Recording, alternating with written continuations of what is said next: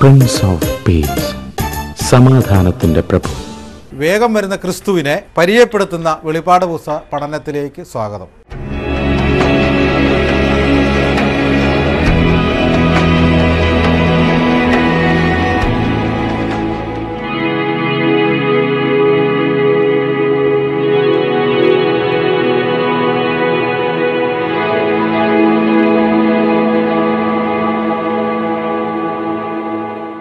ബൈബിളിലെ അവസാന പുസ്തകമായ വെളിപ്പാട് പുസ്തകം മൂന്നാം അധ്യായം പതിനൊന്നാം വാക്യം.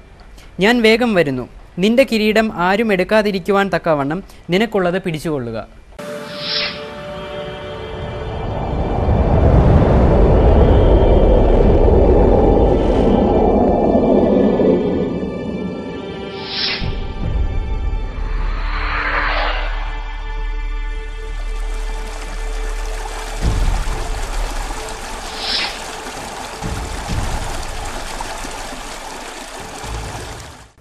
മേലാൽ സംഭവിക്കാനിരിക്കുന്ന കാര്യങ്ങൾ യേശുക്രിസ്തു ലോകത്തെ അറിയിക്കുന്ന വെളിപ്പാട് പുസ്തക പഠനം.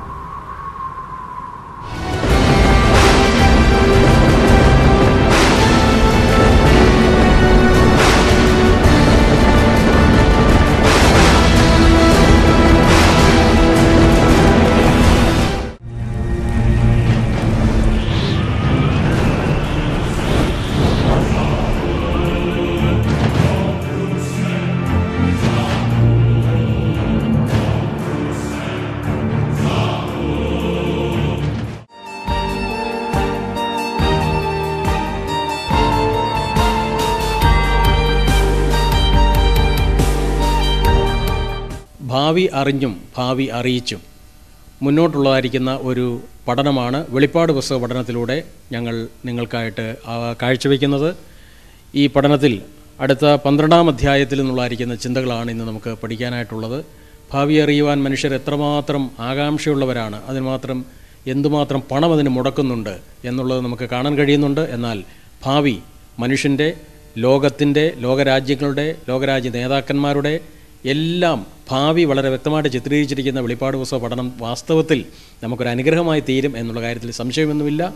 ഈ പന്ത്രണ്ടാം അധ്യായത്തിൽ പറഞ്ഞിരിക്കുന്ന വിഷയത്തിലേക്ക് സാറേ നമുക്ക് പ്രവേശിക്കാം. അതിൽ പറഞ്ഞിരിക്കുന്ന വിഷയങ്ങളെക്കുറിച്ചൊരു അവലോകനം വളരെ ആഗ്രഹിക്കുന്നു. യെസ് ആദ്യത്തെ ആറ് വാക്യം നമുക്കൊന്ന് വായിച്ചിട്ട് ആ ഭാഗത്തിലേക്ക് നമുക്ക് കടന്നു വരാം. പന്ത്രണ്ടാം അധ്യായത്തിന്റെ ആദ്യത്തെ ആറ് വാക്യം. സ്വർഗത്തിൽ വലിയൊരു അടയാളം കാണപ്പെട്ടു.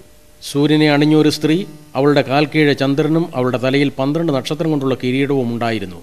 അവൾ ഗർഭിണിയായി നോവ് കിട്ടി വേദനപ്പെട്ട് നിലവിളിച്ചു സ്വർഗത്തിൽ മറ്റൊരടയാളം കാണപ്പെട്ടു. ഏഴ് തലയും പത്ത് കൊമ്പും തലയിൽ ഏഴ് രാജ്യമുടിയുമായി തീ നിറമുള്ളൊരു മഹാസർപ്പം. അതിന്റെ വാൽ ആകാശത്തിലെ നക്ഷത്രങ്ങളിൽ മൂന്നിലൊന്നിനെ വലിച്ചുകൂട്ടി ഭൂമിയിലേക്ക് എറിഞ്ഞു കളഞ്ഞു.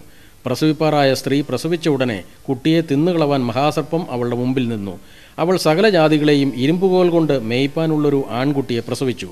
കുട്ടി ദൈവത്തിന്റെ അടുക്കിലേക്കും അവന്റെ സിംഹാസനത്തിലേക്കും പെട്ടെന്ന് എടുക്കപ്പെട്ടു. സ്ത്രീ മരുഭൂമിയിലേക്ക് ഓടിപ്പോയി. അവിടെ അവളെ ആയിരത്തി ഇരുന്നൂറ്ററുപത് ദിവസം പോറ്റേണ്ടതിന് ദൈവം ഒരുക്കിയൊരു സ്ഥലം അവൾക്കുണ്ട്. ബൈബിളിലെ അതിപ്രധാനമായ ഒരു അധ്യായമാണ് ഈ പന്ത്രണ്ടാം അധ്യായം. അത് ശരി. ഭാവിയുള്ള ബന്ധത്തിൽ മാത്രമല്ല യഹൂദനുള്ള ബന്ധത്തിൽ ലോകത്തിൽ ഇത്രയും പീഡ അനുഭവിക്കപ്പെട്ട ഒരു രാഷ്ട്രം ഭൂമിയിൽ ഉണ്ടായിട്ടില്ല. ഇസ്രായേൽ പോലെ. ഇസ്രായേൽ പോലെ. അതുപോലെ കൊല്ലപ്പെട്ടിട്ടുള്ള ഒരു രാഷ്ട്രം ഉണ്ടായിട്ടില്ല. മറ്റ് അവരുടെ പീഡ അവരനുഭവിച്ച പീഡയുടെ പത്തിലൊന്ന് അനുഭവിച്ച ജാതികൾ ഭൂമുഖത്തു നിന്നില്ല. തുടച്ചു മാറ്റപ്പെട്ടു പോയി. അത് ശരി. അവർ എന്തിനാണ് ഇങ്ങനെ പീഡ അനുഭവിക്കുന്നത്? അതിന്റെ പുറകോട്ട് ദൈവം ഒന്ന് കാണാൻ നമ്മളെ ഈ അധ്യായത്തിൽ അനുവദിക്കുന്നുണ്ട് എന്നാൽ ഇവിടെ ചില കാര്യങ്ങൾ നമ്മളൊന്ന് ക്ലാരിഫൈ ചെയ്യാതെ നമുക്കത് മനസ്സിലാക്കാനായിട്ട് സാധിക്കില്ല. അതായത് യഹൂദനെ സംബന്ധിച്ചാണ് ഈ പറയുന്നത് എങ്ങനെ മനസ്സിലാക്കാൻ സാധിക്കും? യഹൂദനാണെന്ന് ഇവിടെ പറഞ്ഞിട്ടില്ല. പറഞ്ഞിട്ടില്ല. ഇത് വായിക്കുമ്പോൾ പെട്ടെന്ന് മനസ്സിലാകുന്നില്ല. ഇല്ല. പല വ്യാഖ്യാനങ്ങൾ ഈ ഈ അധ്യായത്തെക്കുറിച്ചുണ്ട്. എന്നാൽ നമ്മൾ സൂക്ഷ്മമായ ഒരു പഠനം ഇവിടെ ആവശ്യമാണ്. ഉദാഹരണമായിട്ട് സ്വർഗത്തിൽ വലിയൊരു അടയാളം കാണായി. സൂര്യനെ അണിഞ്ഞൊരു സ്ത്രീ. അവളുടെ കാൽക്കീഴ് ചന്ദ്രനും അവളുടെ തലയിൽ പന്ത്രണ്ട് നക്ഷത്രം കൊണ്ടും കിരീടവും ഉണ്ടായി. ഈ സ്ത്രീ ആരാണ് എന്ന് ഒരു സൂര്യനെ അണിഞ്ഞ സ്ത്രീ ആരാണ്? ചില പറയുന്നു ഇത് കന്യാമറിയമാണ്.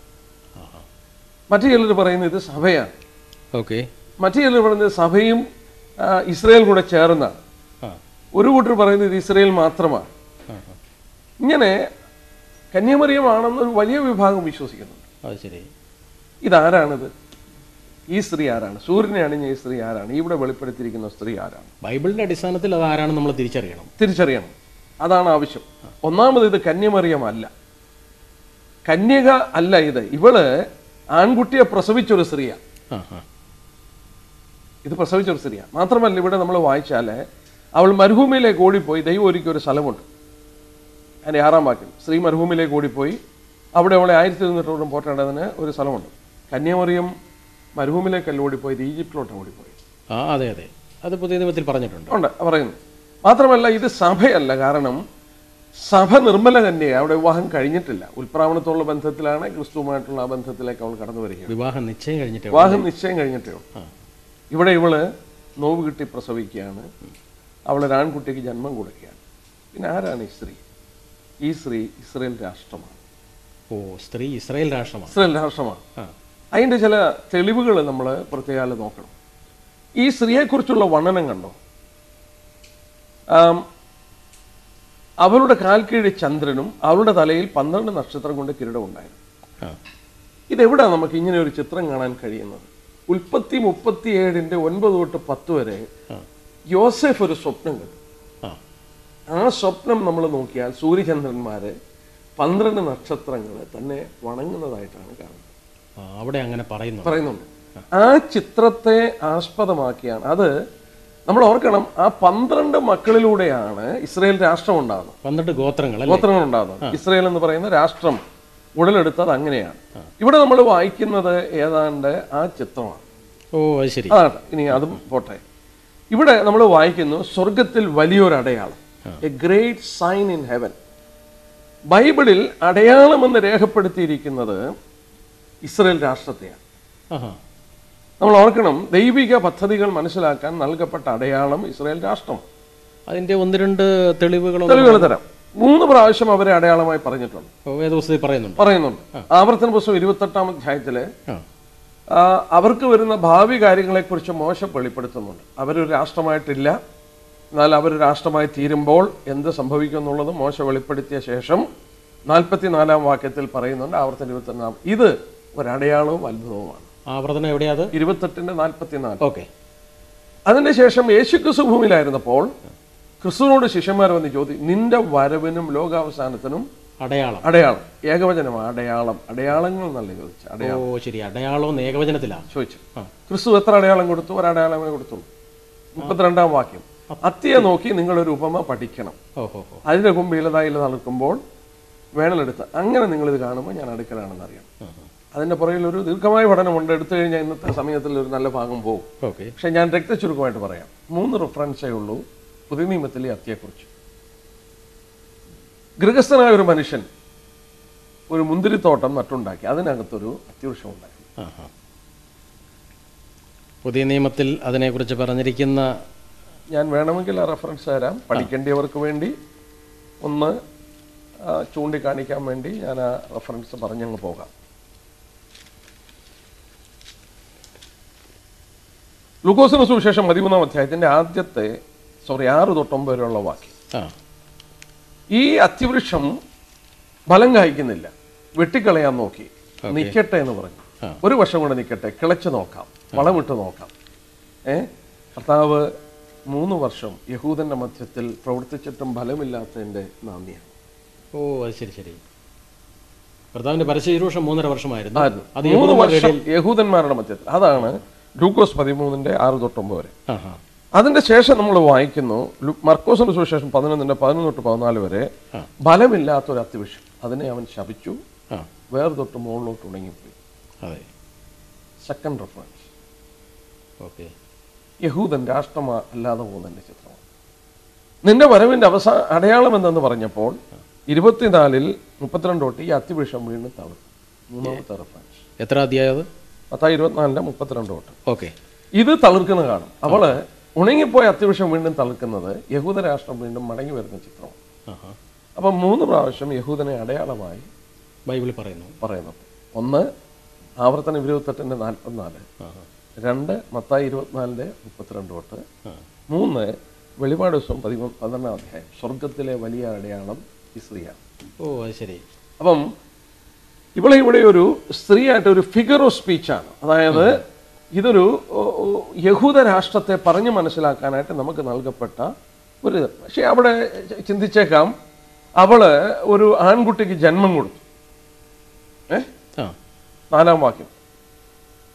പ്രസവിപ്പാറായ സ്ത്രീ പ്രസവിച്ച ഉടനെ കുട്ടിയെ തിന്നുകളയുവാൻ മഹാസർപ്പ അവളുടെ മുമ്പിൽ നിന്നു. ആ രാഷ്ട്രം എങ്ങനെയാണ് പ്രസവിക്കുന്നത് രാഷ്ട്രം എങ്ങനെയാണ് ജന്മം കൊടുക്കുന്നത് അതെ ഞാനും അത് ചിന്തിച്ച് വായിച്ചപ്പം. യശയാ ഒൻപത് നിർത്തി. ഏഷ്യ പ്രവചനം. ഒമ്പതിന്റെ ആറ്. ഇതൊക്കെ സംഭവിക്കുന്നതിന് മുമ്പ് തന്നെ പ്രവാചകൻ രേഖപ്പെടുത്തിയ ഒരു പ്രവചന സൂക്തമാണ് ഒമ്പതാം അധ്യായത്തിന്റെ ആറാം വാക്യം. ഏഷ്യ പ്രവചനം ഒൻപതാം അധ്യായത്തിന്റെ ആറാം വാക്യത്തിൽ നമുക്കൊരു ശിശു ജനിച്ചിരിക്കുന്നു. നമുക്കൊരു മകൻ നൽകപ്പെട്ടിരിക്കുന്നു. ആരായി പറയുന്നത് നമുക്കെന്നുള്ള വാക്ക. അതെ. പ്രസവിക്കുന്ന ഒരാളല്ലേ? അതെ അതെ. ഇവിടെ ബഹുവചനമാണ് നമുക്കൊരു ശിശു നൽകപ്പെട്ടു. നമുക്കൊരു മകൻ. ഇസ്രയേൽ രാഷ്ട്രത്തിന് ഒരു മകൻ നൽകപ്പെട്ടു. ഓ അത് ശരിയാണ് നമുക്ക് റോമലേഖനം നിർത്താട്ടെ പുതിയ നിയമത്തിലെ പുതിയ ഇത് പഴയ നിയമത്തിൽ നിന്ന് വായിച്ചു. ഇനി റോമലേഖനം ഒമ്പതാം അധ്യായം നോക്കിയാൽ റോമാലേഖനം ഒമ്പതാം അധ്യായം. ഒമ്പതാം അധ്യായം. അതിന്റെ അഞ്ചാം വാക്യം നോക്കി റോമാലേഖനം ഒൻപതാം അധ്യായത്തിന്റെ അഞ്ചാം വാക്യത്തിൽ ഇതേ സംബന്ധിച്ച് പറഞ്ഞിരിക്കുന്നത് പിതാക്കന്മാരും അവർക്കുള്ളത് തന്നെ ജഡപ്രകാരം ക്രിസ്തുവും അവരിൽ നിന്നല്ലോ ഉത്ഭവിച്ചത്. ജഡപ്രകാരം ക്രിസ്തുവും അവരിൽ നിന്ന് യഹൂദനിൽ നിന്ന് യഹൂദനിൽ നിന്നാണ് ഉത്ഭവിച്ചത്. ഒൻപത് പത്ത് പതിനൊന്ന് യഹൂദനെ കുറിച്ച് പറയുന്നത്. ആ ശരിയാ. നമുക്കൊരു ശിശു നൽകപ്പെട്ടു. നമുക്കൊരു മകൻ നൽകപ്പെട്ടു. ജഡപ്രകാരം ക്രിസ്തു അവരിൽ നിന്ന് ജനിച്ചു. അപ്പോൾ ഈ സ്ത്രീ ഒരു ആൺകുട്ടിക്ക് ജന്മം കൊടുക്കുന്നു. യഹൂദ രാഷ്ട്രം ക്രിസ്തുവിന് ജന്മം കൊടുക്കുന്നു. അതാണ് ഇവിടെ പറഞ്ഞിരിക്കുന്ന കർത്താവായ യേശുക്രിസ്തു ജനിച്ചത് ആ യഹൂദ പശ്ചാത്തലത്തിലാണ് വന്ന് ജനിച്ചത്. വന്ന് ജനിച്ചത്. അവൻ യഹൂദ ഗോത്രത്തിലെ സിംഹമായിട്ട് വന്നതാണ്. വന്നതാണ്. ഇനി നമ്മൾ ഓർക്കണം ഈ ആൺകുട്ടിയുള്ള ബന്ധത്തിൽ ഇത് ക്രിസ്തുവാണെന്നുള്ളത് നമുക്ക് എങ്ങനെ മനസ്സിലാക്കാൻ സാധിക്കും? കൂടുതൽ തെളിവുകൾ. അതിന്റെ അഞ്ചാം വാക്യത്തിൽ വായിക്കുന്നു പന്ത്രണ്ടിന്റെ അഞ്ചിൽ അവൾ സകല ജാതികളെയും ഇരുമ്പുകോൾ കൊണ്ട് മേയ്ക്കേണ്ട ഒരു ആൺകുട്ടിക്ക് ഒരാൺകുട്ടിയെ ഒരു ആൺകുട്ടിയെ പ്രസവിച്ചു. ഇരുമ്പുകോൾ കൊണ്ട് മേയ്ക്കും. സകല രാഷ്ട്രങ്ങളെയും. ലോകത്തിലുള്ള എല്ലാ രാജ്യങ്ങളെയും നയിക്കുന്ന ഒരാളല്ലേ? ഇരുമ്പുകൾ കൊണ്ട് നയിക്കും ആ. സങ്കീർത്തന രണ്ടിന്റെ ഒമ്പതിലെ കഥാവിനെ കുറിച്ചുള്ള ഒരു പ്രവചനമുണ്ട്. ഓ പഴയ നിയമത്തിൽ സങ്കീർത്തനങ്ങൾ രണ്ടാം അധ്യായത്തിൽ രണ്ടാം സങ്കീർത്തനത്തിന്റെ ഒമ്പതാമത്തെ അത് നമ്മുടെ കർത്താവായ കഥാവിനെ കുറിച്ചുള്ള യേശു പ്രവചനം കുറിച്ചുള്ള അല്ലേ? രണ്ടിന്റെ ഒൻപത് ഇരുമ്പുകോൽ കൊണ്ട് നീ അവരെ തകർക്കും. കുശവന്റെ പാത്രം പോലെ അവരെ ഉടയ്ക്കും. ആരെ കുറിച്ചായി പറയുന്നത്? ക്രിസ്തുവിനെ കുറിച്ചാ അതായത് ആറാം വാക്യം എന്റെ വിശുദ്ധ പർവത്തിന് സിയോനിൽ ഞാൻ അവനെ രാജാവായി വാഴിച്ചിരിക്കുന്നു. ദൈവം ഒരു നിർണയം നിർണയിച്ചു. ഞാൻ എന്റെ രാജാവിനെ വാഴിച്ചിരിക്കുന്നു. നീ എന്റെ പുത്രൻ എന്ന് ഞാൻ നിന്നെ ജനിപ്പിച്ചിരിക്കുന്നു. യേശുക്രിസ്തുവിനെ ക്രിസ്തുവിനെ സിയോനിൽ വാഴുവാൻ ഭൂരാജാക്കന്മാരുടെ മേൽ വാഴുവാൻ ദൈവം നിശ്ചയിച്ചിരിക്കുക. സിയോൻ എന്ന് പറയുന്ന സ്ഥലം? യെരുശലേം. യെരുശലേം ഓക്കെ. അപ്പോൾ രാജാതി രാജാവായി എരുശലേമിൽ നിന്ന് ഭരണം നടത്താൻ കർത്താവിനെ നിശ്ചയിച്ചിരിക്കും അവൻ വരുമ്പോൾ ഇരുമ്പുകൾ കൊണ്ട് ഈ ജാതികളെ അവൻ തകർത്ത് കളയും. ഓ രണ്ടാം സങ്കീർത്തത്തിൽ അത് വ്യക്തമായിട്ട് പറഞ്ഞു പറയുന്നു. അപ്പോൾ ഇവിടെ നമ്മൾ വരുമ്പോൾ ഇരുമ്പുകോൾ കൊണ്ട് ഭരിക്കുന്നു. ഈ ഇരുമ്പുകോൾ കൊണ്ടുള്ള ഭരണം ആയിരം ആണ്ട് വാഴ്ചയുടെ ഭരണമാണ്. നമ്മുടെ കർത്താവ് ഇനി ഭാവിയിൽ ഭാവിയിൽ വരുന്നത് കാരണം ഇരുമ്പുകോൾ കൊണ്ടുള്ള ഭരണം എന്ന് പറഞ്ഞാൽ ശക്തി ഉപയോഗിച്ചുള്ള ഭരണം. തന്നെ അനുസരിക്കാതെ വരുന്ന രാഷ്ട്രങ്ങളെ അവൻ ശക്തി ഉപയോഗിച്ച് അനുസരിപ്പിക്കും. ശരി. സഭയ്ക്ക് വാക്തത്വം കൊടുത്തപ്പോൾ നോക്കിയാട്ടെ വെളിപാട് ദിവസം രണ്ടാം അധ്യായത്തിന്റെ വെളിപ്പാട് ദിവസം രണ്ടാം അധ്യായം. ഇരുപത്തി ആറും ഇരുപത്തേഴും വാക്യം നോക്കി. ഇരുപത്തി ആറ് ഇരുപത്തേഴ് വാക്യങ്ങൾ. ജയിക്കുകയും ഞാൻ കൽപ്പിച്ച പ്രവൃത്തികളെ അവസാനത്തോളം അനുഷ്ഠിക്കുകയും ചെയ്യുന്നവന് എന്റെ പിതാവ് എനിക്ക് തന്നതുപോലെ ഞാൻ ജാതികളുടെ മേൽ അധികാരം കൊടുക്കും. അവൻ ഇരുമ്പ് പോലെ കൊണ്ട് അവരെ മേയിക്കും. അവൻ കുശവന്റെ പാത്രങ്ങൾ പോലെ നുറുങ്ങിപ്പോവും. പിതാവ് ജാതികൾക്ക് എന്നെ വിശ്വസ്തയോടെ സേവിക്കുന്നവൻ എന്നോട് എന്നോടുകൂടെ ഭരിക്കാൻ അധികാരം കൊടുക്കും. ഇരുമുകൾ കൊണ്ട് ഭരിക്കും. യേശുക്രിസ്തുവിന്റെ വാക്തത്വം വാക്തത്വം അത് സഭയ്ക്ക് കൊടുക്കും തൊടുത്തിരിക്കുന്ന വാക്തത്വം അവൻ ഭരിക്കുമ്പോൾ അവനോടുകൂടെ ഭരിക്കാൻ അവർക്ക് അവകാശം കൊടുക്കും. ആ. ഭരണം ആയിരം ആണ്ട് വാഴ്ച. അന്നാണ് അധികാരം ഉപയോഗിക്കുന്നത്. ആയിരം ആണ്ട് വാഴ്ച കഴിഞ്ഞ് ബുദ്ധിഭൂമി പ്രവേശിക്കുമ്പോൾ അവിടെ ഈ അധികാരം ഉപയോഗിക്കേണ്ട ആവശ്യമില്ല. കാരണം നീതിമാന്മാർ മാത്രമേ അന്ന് അവിടെ പ്രവേശിക്കുകയുള്ളൂ പാപത്തിന്റെ സകലതും മാറ്റിയ ശേഷം തീ കൊണ്ട് ചുട്ടഴിച്ച പുതിയ ഭൂമിയിൽ ആ ദൈവത്തിന്റെ പൂർണഹിതം നിവർത്തിക്കപ്പെടുന്ന ഒരു സമയത്ത് ഇരുമ്പുകോലിന്റെ ആവശ്യമില്ല. എന്നാൽ ആയിരം വർഷകാലത്ത് ഇത് ആവശ്യമാണ്. അന്ന് ദൈവത്തെ അറിയാത്തവരും അംഗീകാരത്തോടും അവരുണ്ട് അവിടെ ഉണ്ട്. കാരണം അന്ന് അവർ അനുസരിക്കണമെങ്കിൽ അവൻ ഇരുമ്പ് പോകാൻ കൊണ്ട് ഉപയോഗിക്കും.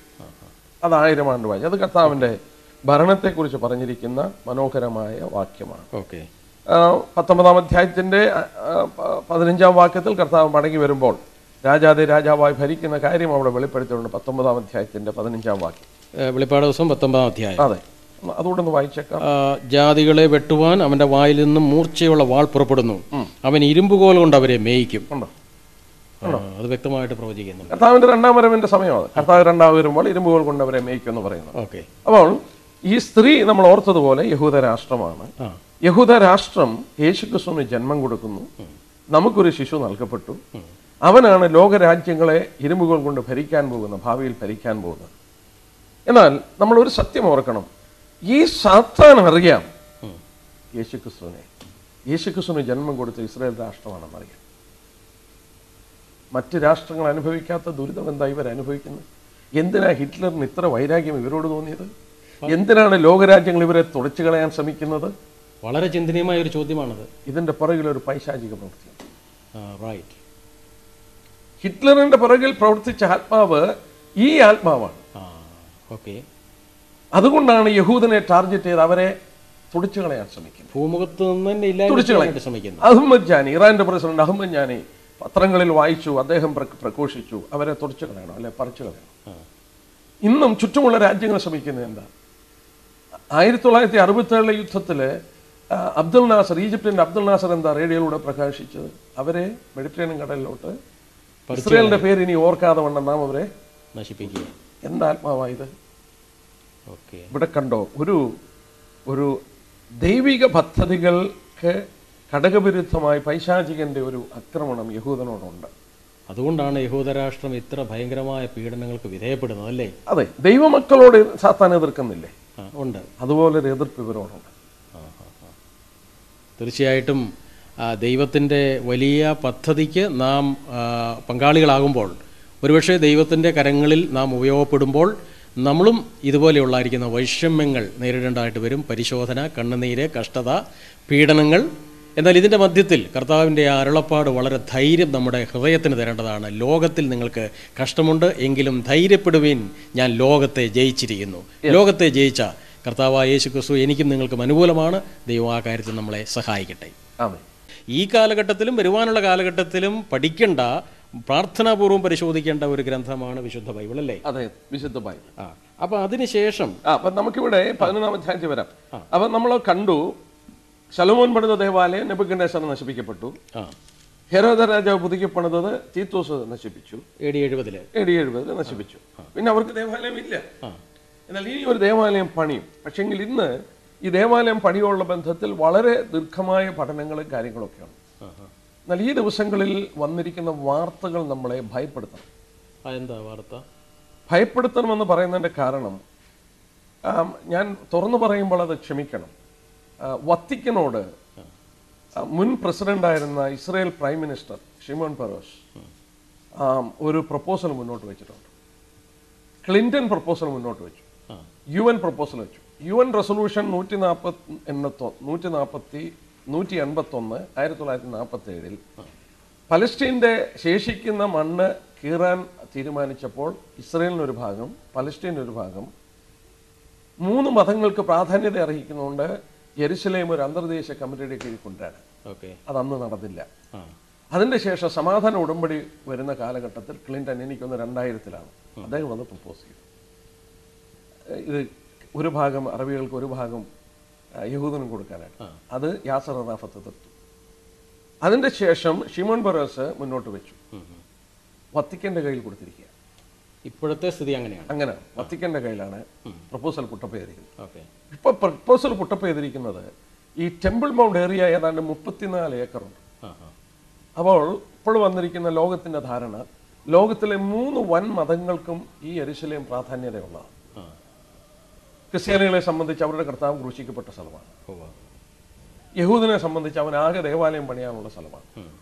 മുസ്ലിങ്ങളെ സംബന്ധിച്ച് അവർ വിശ്വസിക്കുന്ന പ്രവാചകൻ അവസാനമായി ബുർഗ് എന്ന് പറയുന്ന കുതിരപ്പുറത്ത് നിന്ന് സ്വർഗത്തിലേക്ക് പോയത് അവിടെ നിന്നാണ്. ഓക്കെ. അതുകൊണ്ടാണ് അവർ ഈ ഡോം ഓഫ് ദി റോക്ക് ഉണ്ടാക്കിയത്. അപ്പൊ അങ്ങനെ മൂന്ന് കൂട്ടർക്കും ഒരേപോലെ പ്രാധാന്യമുള്ള. പ്രാധാന്യതയുള്ള സ്ഥലമാണ്. എന്നാൽ ഇപ്പോൾ വെച്ചിരിക്കുന്ന പ്രപ്പോസൽ ഈ മുപ്പത്തിനാല് ഏക്കറിൽ മൂന്ന് മതങ്ങൾക്കും ആരാധിപ്പാൻ സ്ഥലം ഉണ്ടാക്കി കൊടുക്കുക എന്നുള്ളതാണ്. അത് ശരി. മുസ്ലിങ്ങളുടെ ഡോം ഓഫ് ദി റോക്കും അലാസ മോസ്കും തൊടണ്ട. ഡോക്ടർ ആഷർ ഖപ്പൻ എന്ന് പറയുന്ന അതായത് ആയിരത്തി തൊള്ളായിരത്തി അറുപത്തേഴിലെ ആറ് ദിവസത്തെ യുദ്ധത്തിൽ പാരട്രൂപ്പിൽ അവിടെ ഇറങ്ങിയ ഒരു പഠനമാണ് ആഷർ ഖപ്പൻ ശരി. അദ്ദേഹം അന്ന് അവിടെയുള്ള ഫോട്ടോകൾ എടുത്തിരുന്നു. അദ്ദേഹം ടെമ്പിൾ ഇൻസ്റ്റിറ്റ്യൂട്ടിന്റെ പ്രധാനപ്പെട്ട ഒരാളാണ്. ദേവാലയം പണിയപ്പെടാനുള്ള ഇതിന് വേണ്ടി എഴുത്തുകളും അന്വേഷണങ്ങളും ഒക്കെ നടത്തിക്കൊണ്ടിരിക്കുക വലിയ ഗവേഷകനാണ്. ഗവേഷകനാണ്. ഹീബ്രു യൂണിവേഴ്സിറ്റിയിലെ പ്രൊഫസറായിരുന്നു ഓ ശരി. അദ്ദേഹം ഒരു വർഷം അവധി എടുത്തിട്ട് ഇതിന്റെ ലൊക്കേഷൻ കണ്ടുപിടിക്കാൻ വേണ്ടി ശ്രമിച്ചിട്ട് അദ്ദേഹം പറയുന്നത് ഈ അലാക്സ മോസ്കോ ഡോമോതിറോക്കോ തുടണ്ട ആവശ്യമില്ല. ഏതാണ്ട് നൂറ്റി അൻപത് അടി അപ്പുറത്തോട്ട് നിൽക്കും ഇത് പണിതാൽ. അപ്പോൾ ഇത് തൊടാതെ യഹൂദന ദേവാലയം അവിടെ തന്നെ പണിയാമെന്ന് അദ്ദേഹം പറയുന്നു. ലൊക്കേഷനുള്ള ബന്ധത്തിൽ ഇന്നും തർക്കമുണ്ട് ഇവിടെ ലൊക്കേഷൻ ഇതിന്റെ കൃത്യത. അപ്പോൾ മുന്നോട്ട് വെച്ചിരിക്കുന്ന പ്രപ്പോസൽ ഇന്ന് മുസ്ലിങ്ങളുടെ ഈ dome of the rock Al Aqsa mosque തൊടാതെ അപ്പുറത്ത് യഹൂദന് ദേവാലയം പണിയുക. പക്ഷേ അവിടെ പണിയുമ്പോൾ അതിന്റെ പുറത്തെ പ്രാകാരം കാണത്തില്ല. കാരണം പുറത്തെ പ്രാകാരത്തിലാണ് ഇത് നിൽക്കുന്നത്. എന്നാൽ ആരാധന നടത്താനായിട്ട് വിശുദ്ധ സ്ഥലവും അതിവിശുദ്ധ സ്ഥലവും പ്രാകാരവും മതി. പുറത്തെ പ്രാകാരം വേണമെന്നില്ല പുറത്തെ പ്രാകാരത്തിലാ ജാതികൾ വന്നുകൊണ്ടിരുന്നത്. അത് വേണ്ട. ഇവിടെ വായിക്കുന്നത് നമുക്ക് നോക്കാതെ. ഇനി അതിന്റെ അപ്പുറത്ത് ക്രിസ്ത്യാനികൾക്ക് വേണ്ടി ഓർത്തഡോക്സ് കത്തോലിക്ക വിഭാഗങ്ങൾ ഒന്നിച്ചു ചേർന്ന് ആരാധിക്കാൻ ഒരു ഒരു പള്ളി അവിടെ പണിയുക. മൂന്നാമത് സോറി രണ്ടാമത് അവർ വെച്ച പ്രപ്പോസൽ ഇത് ഒരു പ്രശ്നവുമില്ല കാരണം മുസ്ലിങ്ങൾ വെള്ളിയാഴ്ച ആരാധിക്കുന്നു. യഹൂദൻ ശനിയാഴ്ച ആരാധിക്കുന്നു. ക്രിസ്ത്യാനികൾ ഞായറാഴ്ച ആരാധിക്കുന്നു. അപ്പോൾ ദിവസത്തെ സംബന്ധിച്ചും പ്രശ്നമില്ല. പ്രശ്നമില്ല. അപ്പോൾ ഏകസത്യ ദൈവത്തിൽ വിശ്വസിക്കുന്ന ഈ മൂന്ന് കൂട്ടർക്കും മൂന്ന് പേർക്കും പ്രാധാന്യത ഉള്ളതുകൊണ്ട് ഇത് മൂന്നായിട്ട് തിരിക്കണം എന്ന് വത്തിക്കന്റെ മുന്നിൽ കാര്യം വെച്ചിരിക്കുക ഇപ്പോൾ നമ്മുടെ മുമ്പിൽ ഇപ്പോൾ ഇന്നത്തെ ലോകത്തിൽ വരുന്ന ഒരു ആലോചനയാണ് ആലോചനയാണ്.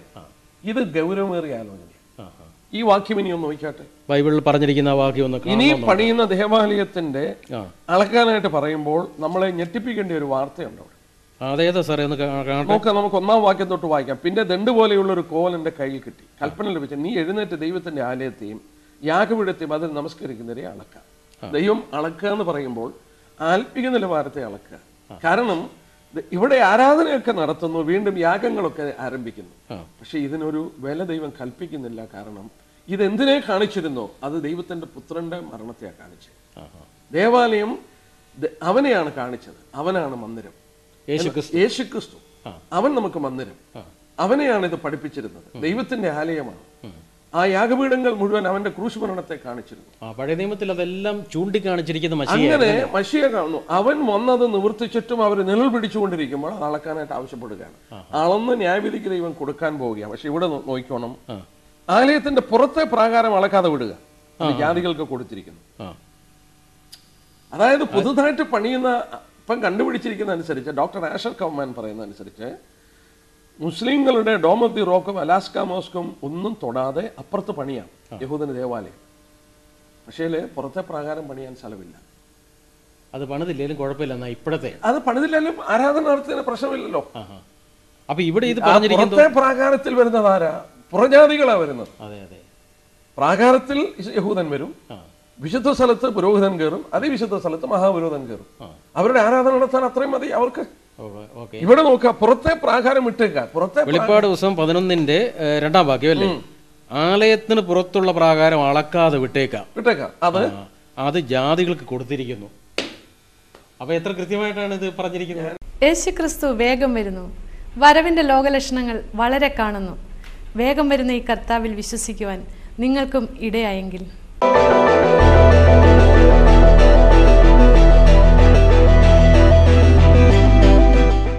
കർത്താവായ പറഞ്ഞു ഞാൻ തന്നെ വഴിയും സത്യവും ജീവനുമാവുന്നു. ഞാൻ മുഖാന്തരമല്ലാതെ ആരും പിതാവിന്റെ അടുത്ത് എത്തുകയില്ല.